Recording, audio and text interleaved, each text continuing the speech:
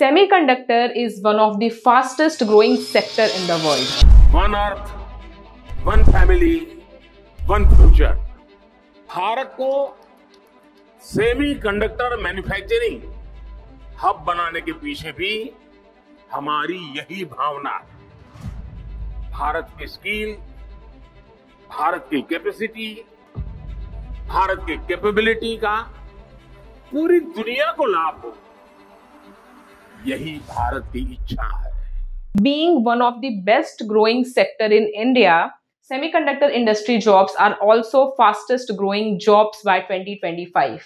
If you are searching for jobs, no matter you are from semiconductor background or from other fields, then listen to this carefully.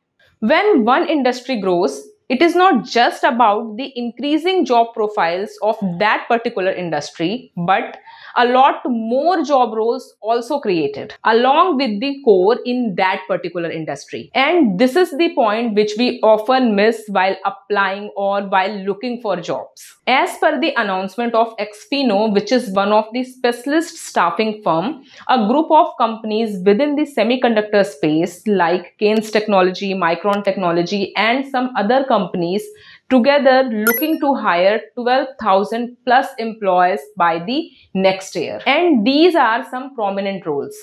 28% of roles are made up by semiconductor engineers. 19% of roles are made up by mechanical engineers. 15% of roles are made up by embedded system guys. So that is roughly 62% and where are the remaining 38% folks being hired from? So as per the report of oxford economics there are the job roles which is being hired for the semiconductor space apart from 62% typical semiconductor profile. So here you can see in this list from management it is 8%, from computers that is information technology it is around 6%.